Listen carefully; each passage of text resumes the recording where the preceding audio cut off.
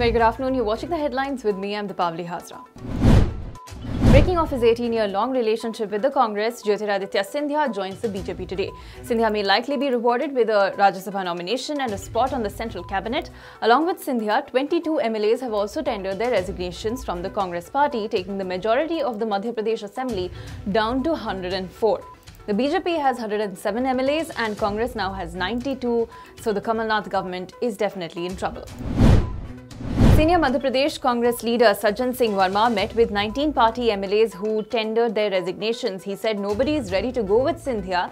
He claimed the MLAs said they were misled and taken to Bengaluru. Meanwhile, resort politics is once again at its peak with MP BJP MLAs who are now staying at ITC Grand Bharat in Gurugram and 19 Rebel Congress MLAs are in Bengaluru. The Congress MLAs from Madhya Pradesh have been flown to Jaipur. Taking a shot at the political turmoil in Madhya Pradesh, Shiv Sena leader Sanjay Raut said that the MP virus won't enter Maharashtra. Raut said one operation by the BJP to destabilize the government had flopped 100 days ago. The Maharashtra Vikas Aghadi did a bypass surgery and saved Maharashtra, he said. Rahul Gandhi refused to react to Jyotiraditya Scindia's resignation from the Congress. He, however, took to Twitter to take a swipe at the Prime Minister for destabilizing an elected government.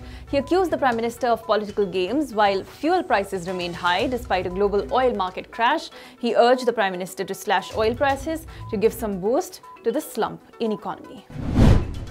The suspension of seven Congress Lok Sabha MPs has been revoked by Speaker Om Birla. They had been suspended on charges of gross misconduct in the House. Lok Sabha has seen disruptions with the Congress protesting against the suspension of the seven MPs.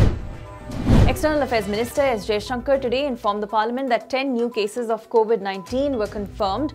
Eight cases are from Kerala and one each from Rajasthan and Delhi. The total cases have risen to 60 across the country. The Government of India, meanwhile, has issued an advisory for all incoming international passengers with travel history to China, Hong Kong, South Korea, Japan, Italy, Iran, Malaysia, France, as well as Germany to undergo self-imposed quarantine for 14 days from the date of their arrival.